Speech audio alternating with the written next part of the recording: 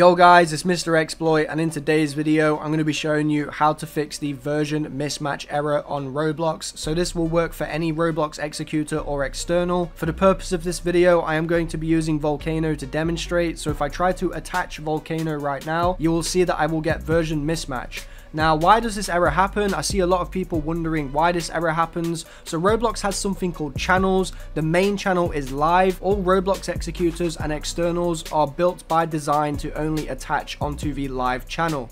Now, if you click the link in the description below, it will take you over to this website right here, which will tell you what channel your Roblox account is currently on. This Roblox account right now, I am currently on the Z Disable channel. This is not the live channel, and this is why I am currently getting this error. The the only other reason you may be getting this error is because whatever you're trying to use is outdated and Roblox has updated. If you head over to my Discord server, the link is in the description below, and you head over to the Roblox update tracker, you can actually see when Roblox updates in real time. So at the time of recording this video, it's the 3rd of November 2025, and the last time Roblox updated was October the 29th. So I'm using Volcano, which means I can just go to the Volcano Discord, I can go to the Volcano changelogs, logs and I can see that my executor was updated on the 30th of October which means it is currently updated and on the latest version of Roblox. So this means that I the only way to fix this is to force the live channel, which is what I'm about to show you guys how to do now.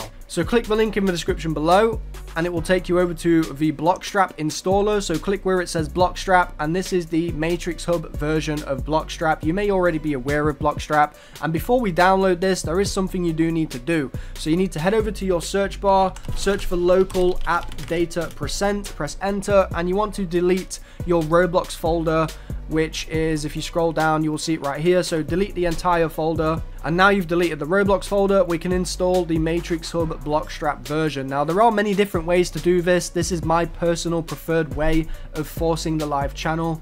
So we're going to download the Matrix Hub fork of Bloxstrap Okay, so when you're installing it, it's very simple. Just click install, install and launch Roblox.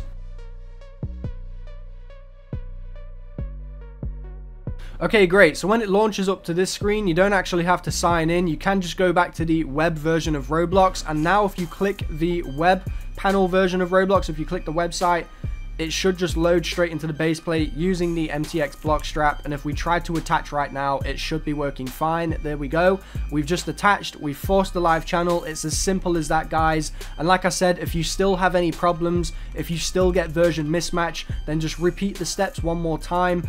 So go to percent local app data percent delete Roblox again and repeat the steps. And like I said it might be because whatever you're trying to use is simply not updated yet. So make sure to check whatever you're using at this moment in time is currently updated. So I hope this video helped you out. Please subscribe turn on notifications so you guys don't miss out on any future content. Comment down below what you guys want to see next. Leave a like if this video helped you out and I'll see you guys in the next one. Peace